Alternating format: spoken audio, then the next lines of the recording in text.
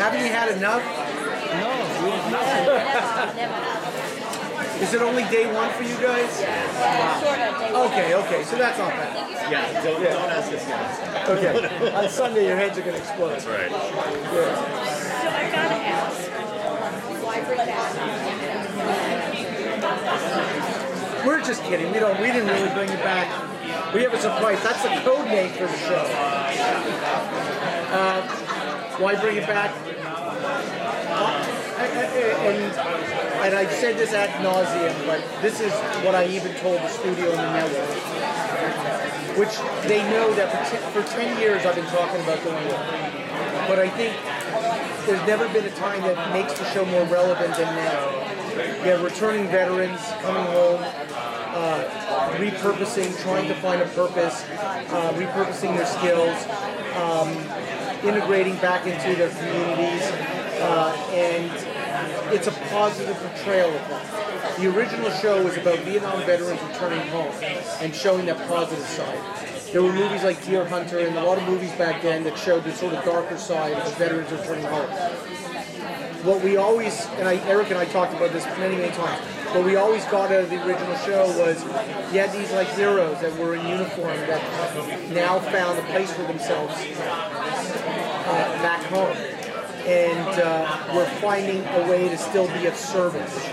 And uh, it felt like that's going on right now. And uh, it felt like at the right time. And that's the real honest answer. Uh, I could have tried to do this five years ago, and I think it maybe not have been as sort of relevant. Um, and it just felt like the right time to finally do it.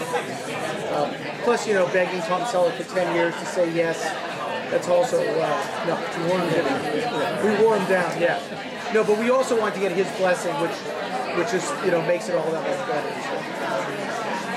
Difficult has it been to find a balance between honoring the original and making your own? I think we definitely put a lot of pressure on ourselves. You know, everyone who's sort of involved in this, you know, has great affection for the original show. So the last thing anyone wanted to do, uh, you know, was was was mess it up. Um, you know, it's it was one of those shows. I mean, it, it, it ran for a lot of seasons, and it, it still to this day has a huge huge following. You know, it would be great if we could get that audience, uh, you know, but also, you know, also get, you know, an audience that might not, you know, have been around when the original show was on, or, or might have been too young to remember it. You know, I only started watching it in, in later seasons because I was too young to watch the earlier seasons, so I didn't have to back and see the. But, I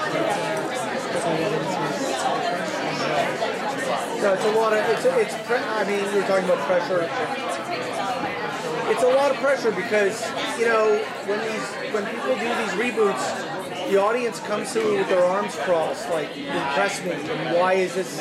Why should I watch this version of it? And they're always afraid we're gonna mess up, you know, what they loved about the original. But I think I think we're really honoring the original show also sort of refreshing some aspects of it.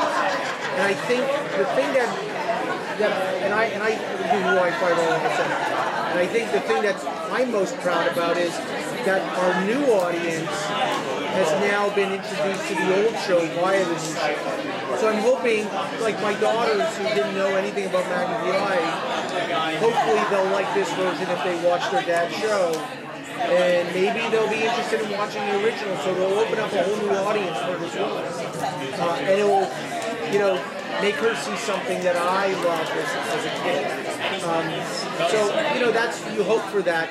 But the pressure is, uh, is, is, is, is, is there. It's very, you know, it's there every day, every minute. So, uh, nothing bigger than bringing it here and seeing how real fans respond. So.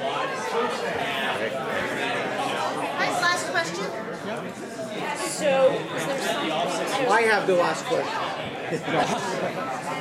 I think are there issues that from today's veterans that can get stuff like that, that maybe in the eighties, around the Yeah, for sure. It's, it's something that we're actually exploring in, in these episodes. Uh, you know, in, in, in the first, uh, you know, actually, I'd say five. All right, guys. Uh, there, there, there's a character that's introduced uh, and, and gotten suffering from PTSD. It is something that we wanted to tackle. It is relevant. And like you say, it's not something that was really exciting very much, you know, uh, in, 80s, you know, and in the 70s. But, you know, it's, it is something, you know, you hear, you know, you, you, you know, you go on CNN, you know, you go on, you know, open a newspaper, you hear stories about veterans and facing, you know, these, these you know, the, difficulty of acclimating, you know, to society and, and uh, you know, finding a way to, to live with, you know, what they experience, you know, in the war zone. Uh, and how that's fascinating. It's, it's really, yeah, it's definitely actually, that's, uh, Thank you guys so much. Guys, Really thank you. Thanks.